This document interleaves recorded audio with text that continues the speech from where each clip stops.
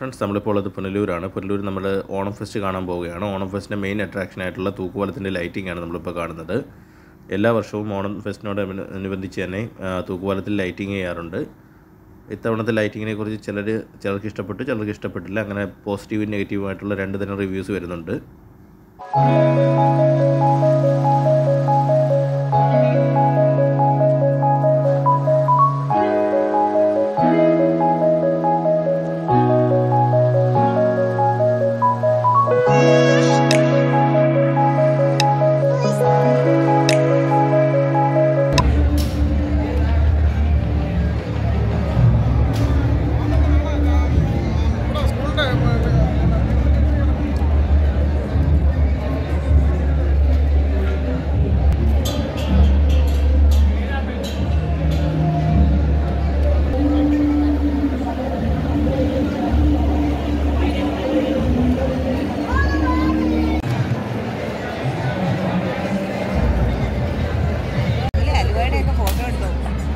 water